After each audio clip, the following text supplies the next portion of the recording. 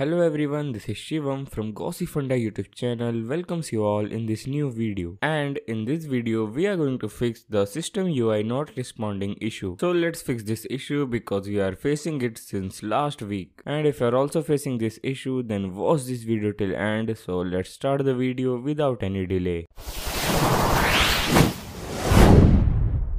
So before moving further, let's discuss that why we are facing this issue. So the main reason for this issue is the updates of Google and other application. Sometimes updates of application are not compatible with your system UI and your device as well. The other reason for this is maybe your device don't have enough internal storage or any application want to access your device without permission. Now let's see the solution one by one. So the first way to fix this is to reboot your device because because rebooting helps the most. Second, uninstall the third party applications. Third way is to uninstall the Google updates from your device. And for that, open settings, open application, go to Google and simply clear all data or you can uninstall this. For the fourth way, you can clear the cache data of your device. Just go to settings, select storage and clear all cache. Fifth way is to factory reset your device. This is the most helpful and most working method. And the last method is to reset your app preference. And for that go to settings open application tap on this three dot option and simply reset app preference. So i hope this video will be useful to you. Make sure to like the video. Also share it with your friends. Don't forget to subscribe to our channel. You can also visit to our website from given link in description. Thank you so much. See you soon